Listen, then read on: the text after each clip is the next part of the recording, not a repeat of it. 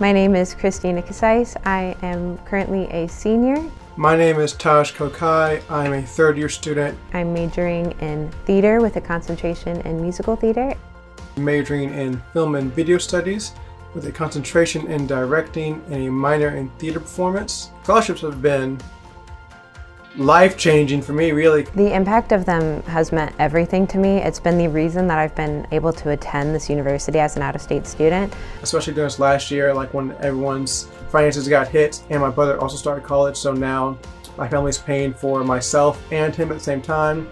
Mason was my top school of choice and I really wanted to attend, so getting these scholarships has made that possible for my family and I.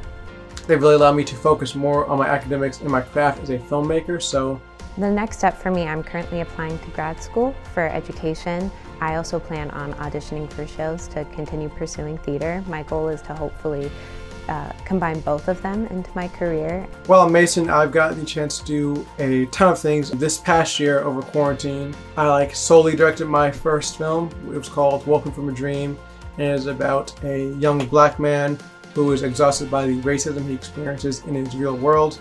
I think it's been selected to 11 festivals and won five awards.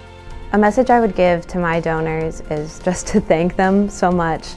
Uh, every experience that I've gotten with meeting them has been lovely and their scholarships has meant the world to me. I really just want to say thank you for what you're doing because you're going out of your way to help fund students like me and others and it's just it's made me feel lighter and just more uh, free and I'm able to breathe more because of scholarships they provided. And it's and meant the world. I know I keep saying that, but it's truly meant the world to me and I can't thank them enough.